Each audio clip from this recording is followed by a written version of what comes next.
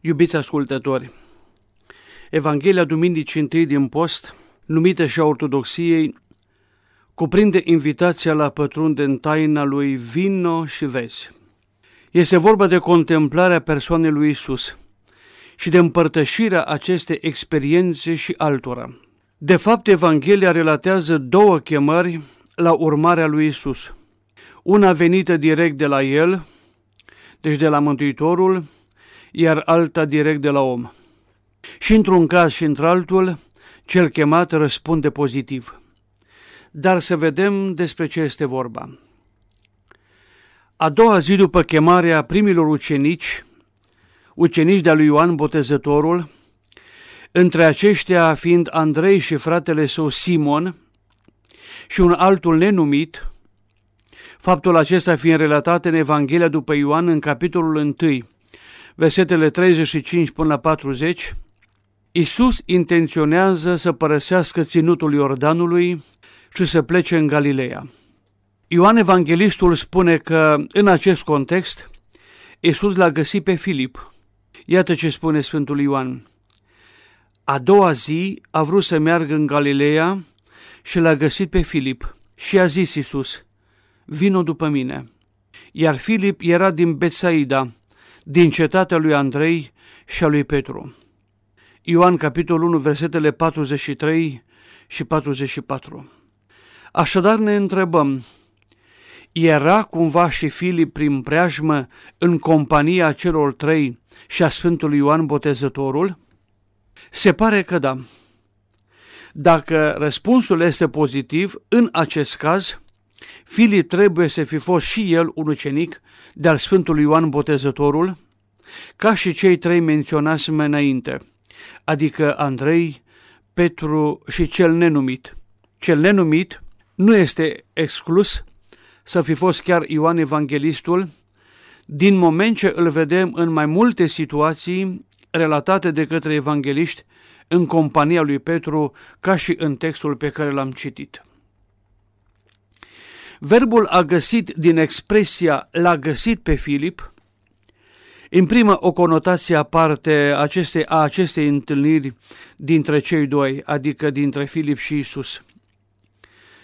Dacă Isus l-a găsit pe Filip fără să-l fi căutat, înseamnă că Filip era un semn de la Tatăl pentru Isus că trebuie să-l cheme. Dar nu este vorba aici de o predestinare a lui Filip pentru această chemare. Dar să știți că pentru misiuni speciale Dumnezeu își alege colaboratorii. Unul dintre aceștia a fost Filip.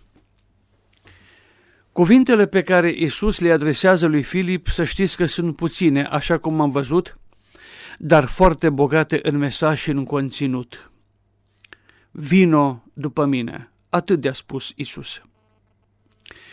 Chemarea aceasta înseamnă mai mult decât o invitație la a ține companie lui Isus pe drum spre Galileea. Este de fapt o chemare la apostolat. Vino după mine este chemarea care a făcut ucenici ai lui Isus, mai târziu puțin pe Petru, pe Andrei, pe Iacov, pe Ioan și pe Matei și pe alții dintre apostoli. Era chemarea care putea să-l facă apostol și pe tânărul bogat. Ne amintim din Matei 19, 21, numai că el a refuzat. Evanghelistul nu ne spune dacă Filip a răspuns uh, la această chemare pozitiv sau nu, dar ceea ce face el mai departe e mai mult decât un răspuns pozitiv. Și anume despre ce este vorba. Undeva în drum spre Galileea, nu știm exact unde, Filip l-a găsit pe Natanael și i-a zis, Noi l-am aflat pe acela despre care a scris Moise în lege și au scris profeții, pe Iisus, fiul lui Iosif din Nazaret. Ioan capitolul 1, versetul 45. Observăm că în acest verset întâlnim același verb a găsi, ceea ce înseamnă că și Natanael era un semn pentru Filip. În versetul în care a fost vorba despre Filip, întâlnim același verb, Iisus l-a găsit pe Filip. Astfel înțelegem că și Natanael era înscris în planul lui Dumnezeu cu privire la misiunea fiului său. Ceea ce îi spune Filip lui Natanael este foarte interesant. Prin cuvintele pe care îi le adresează, așa cum am văzut, el nu îi spune nimic altceva decât rezultatul întâlnirii sale cu Isus, a experienței pe care el a avut-o cu Isus. Pentru Filip, Isus era împlinirea profețiilor, dar în același timp era și fiul lui Iosif din Nazaret. Și astfel, pe drumul de la Iordan spre Galileea, Isus strânge în jurul său un prim cerc de ucenici. Din exprimarea lui Filip la plural, noi am găsit, rezultă clar că este vorba deja de un mic grup de ucenici în jurul lui Isus. Potrivit relatării evanghelistului Ioan, aceștia ar fi Andrei, Petru și Filip și așa cum am văzut mai înainte, probabil și Ioan. Natanael poate fi cel de-al cincelea care este abordat. Așadar, primul grup de ucenici adunat în jurul lui Isus are loc sau se întâmplă acest lucru a adunării primilor ucenici în drum spre Galileea de la Iordan. Probabil nu foarte mult timp după botezul lui Isus. Răspunsul lui Natanael este enigmatic. Îi spune lui Filip, din Nazaret poate fi ceva bun?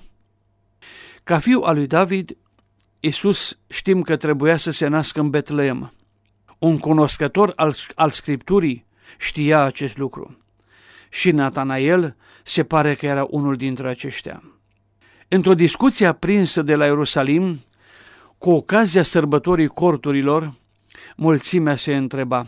Citesc din Ioan în capitolul 7, versetele 41 și 42. Oare din Galileea va să vină Hristos? N-a zis oare Scriptura că Hristos trebuie să vină din sămânța lui David și din orașul Betleem, unde a fost David? Așadar, exprimarea lui Natanael este destul de ciudată. El nu vorbește despre Mesia, ci despre ceva bun. Din Nazaret poate fi ceva bun? Ne întrebăm, să fie oare o exprimare reverențioasă a lui Natanael, voind să-l desemneze pe Mesia drept Dumnezeu, singurul de altfel bun? Nu știm. Cert este că Filip îi răspunde la întrebare cu aceleași cuvinte rostite de către Isus puțin mai înainte. Unor ucenici ai lui Ioan Botezătorul care s-au luat după el. Vino și vezi, îi spune și Filip lui Natanael. De fapt, prin aceste cuvinte, Filip îl invită pe Natanael la contemplarea persoanei lui Isus, la experierea lui ca Mesia cel așteptat. Și Natanael dă curs provocării. Merge la Isus. Dar Isus îl întâmpină cu un cuvânt de atenționare. Iată. Acest iată pune un accent clar pe cuvintele care urmează, adică, într-adevăr, izraelit, într-o care nu este vicleșug. Cât poate fi de frumos să fii caracterizat de Dumnezeu. Este una dintre puținele caracterizări pozitive făcute de către Isus vreunui om. Lui Natanael, Isus îi face această caracterizare, un om fără vicleșug. Așadar, Natanael, bun cunoscător al Scripturilor, trăia în acord cu ele. De aceea nu era vicleșug în el. Și aceasta o recunoaște și Dumnezeu. De unde mă cunoști, întreabă Natanael, când Isus i-a spus aceste cuvinte. Și Isus îi răspunde, Mai înainte ca Filip să te fi chemat, te-am văzut când erai sub smochin. Studierea legii se făcea adesea conform unui obicei fariseic sub un smochin. Să se fie referit Isus oare la acest lucru Adică l-a văzut sus mochin când l-a chemat Filip? Nu știm. Dar să știți că au mai existat și alte întrebări și alte interpretări date cuvintelor lui Isus, în sensul că Isus ar fi referit la momentul uciderii pruncilor din porunca lui Rod, la nașterea lui, când mama lui Natanael l-ar fi salvat pe acesta prunc fiind ascunzându-l sub un smochin. Nu știm dacă este așa, e greu de spus. Oricum, între multele enigme ale Noului Testament, mai încape și aceasta. Cert este un lucru, și acesta este important, că Isus vede prin Duhul locul omului pe pământ. Isus îl vede pe Natanael prin Duhul lui acolo unde acesta se găsea când Filip l-a chemat. Reținem această imagine. Isus îl vede prin Duhul Său pe Natanael unde se găsea. Surprins de cunoașterea lui Isus, Natanael face o mărturisire foarte importantă și anume, auziți, Rabi, tu ești Fiul lui Dumnezeu, tu ești regele lui Israel. Ioan 1,49 Mărturisirea lui Natanael cuprinde trei caracterizări importante ale persoanei lui Isus. Mai întâi, unul îl numește rabi și e surprinzător să-l numească rabi pentru că Isus nu provine dintr-o școală rabinică. 2. Îl numește Fiul lui Dumnezeu, așa cum și Ioan Botezătorul mai înainte, în versetul 34 l-a numit. Și trei îl numește și împăratul lui Israel. Încă o dată, Natanael se dovedește un foarte bun cunoscător al Scripturii. De ce? Pentru că în Vechiul Testament viitorul Mesia este numit de mai multe ori împăratul lui Israel. În texte precum 2 Samuel 7, 13 sau în Psalmul 2, versetul 6 sau în Isaia 32, 1 și următoarele, Zaharia 9, 9 și așa mai departe. Așadar, Natanael crede acum cu adevărat că Isus este Mesia și mai crede și cuvintelor lui Filip și intuiește faptul că acesta nu s-a înșelat atunci când îl numește pe Isus cu aceste cuvinte. De fapt, de o caracterizare a lui Isus, de o definiție pe care Natanael o dă lui Isus. Rabii, Fiul lui Dumnezeu, și regele lui Israel. Cât de multe a spus Natanael prin mărturisirea lui. În scurta lui experiență cu Isus, Filip a reușit să-l cunoască pe Isus destul de bine pentru a-și face o idee despre cine este el. Se pare că Isus i s-a descoperit suficient, așa cum se descopere oricui care dorește să-l cunoască. Și această cunoaștere a lui Filip Natanael a intuit-o foarte bine. Mai departe, observăm că Isus încuvințează această mărturisire a lui Natanael. Dar în același timp, Mântuitorul Hristos încearcă să lărgească orizontul de cunoaștere a lui Natanael spunându-i. Citesc cuvintele lui Isus. Pentru că ți-am spus că te-am văzut sub smochin, de aceea crezi mai mari decât acestea vei vedea. Și a zis, adevăr, adevăr, vă spun. Observăm că exprimarea este la persoana întâi plural, nu îi spune, îți spun ție, Natanael. Deci, adevăr, adevăr vă spun, de acum veți vedea cerul deschizându-se și pe îngerul lui Dumnezeu suindu-se și pogorându-se peste Fiul omului. Versetele 50 și 51 din capitolul 1 din Evanghelia după Ioan. Citind aceste cuvinte ale lui Isus, desigur ne întrebăm acum, care sunt lucrurile mari pe care urma să le vadă Natanael? Cu siguranță e vorba de patima, crucea, moartea, învierea și înălțarea lui Isus la cer. Deși Isus îi se adresează numai lui Natanael, așa cum am spus înainte, exprimarea lui e la plural, ceea ce arată clar că Isus îl avea în vedere și pe Natanael, dar și pe alți ucenici care erau în preajma lui atunci. De fapt, cerul deschis coincidea cu începutul operei mântuitoare a lui Mesia, început pe care toți ucenicii din preajma lui Isus trebuiau să-l simtă și să-l cunoască. Iubiți ascultători, după această succintă explicație a Evangheliei foarte importantă și cu foarte mult mesaj, dar și cu multe întrebări, să vedem acum care este într-adevăr mesajul acestei pericope evanghelice pentru noi cei de azi. Între multele pe care le conține, unul ne reține atenția în mod deosebit și el se referă la o misiune specială la care toți suntem chemați.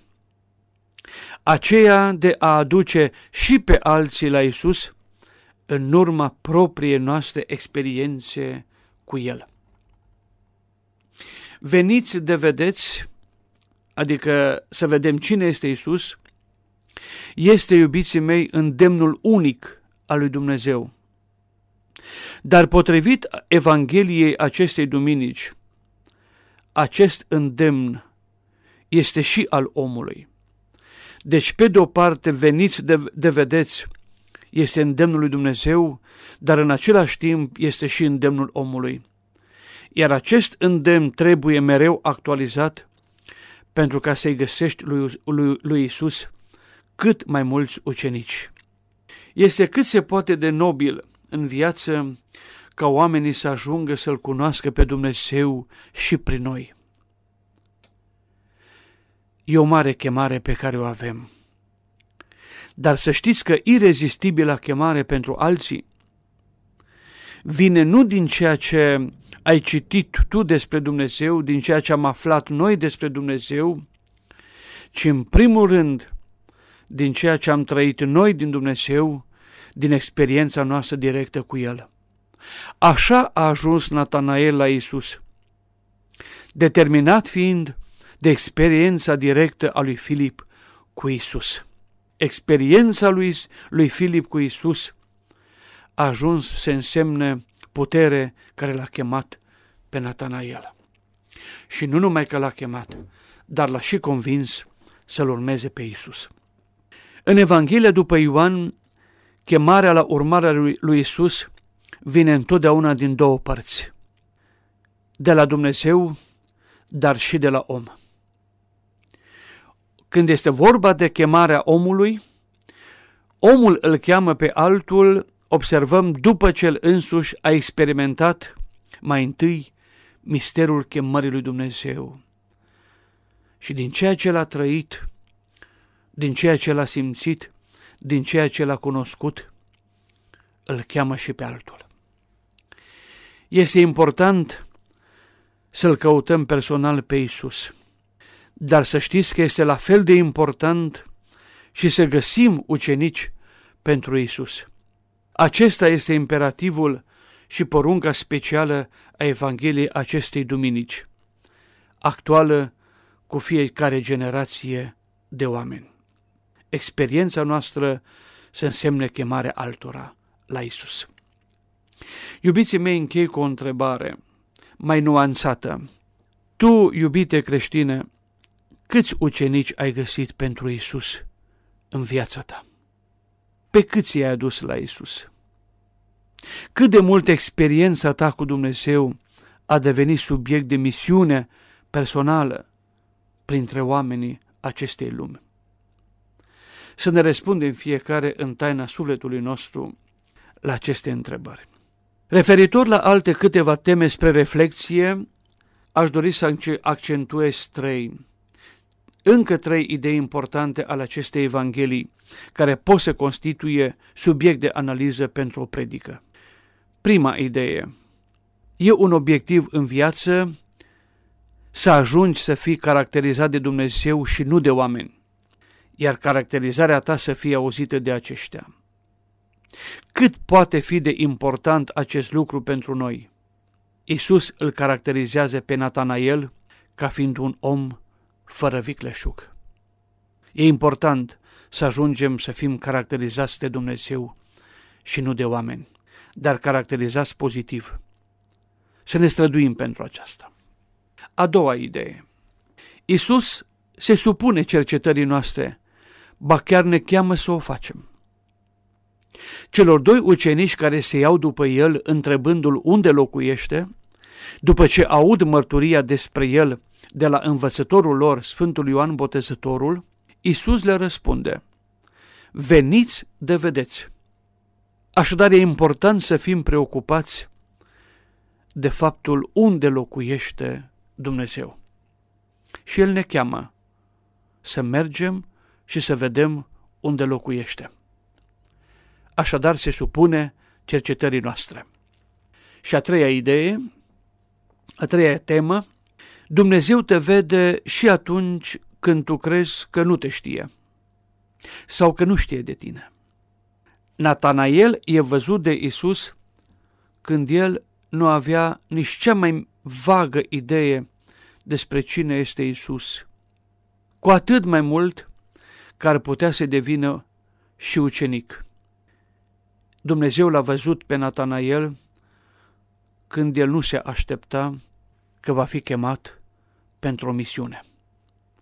Așadar Dumnezeu ne vede când noi nu avem nici cea mai mică idee, cea mai vagă idee că am putea fi chemați pentru o misiune în lume.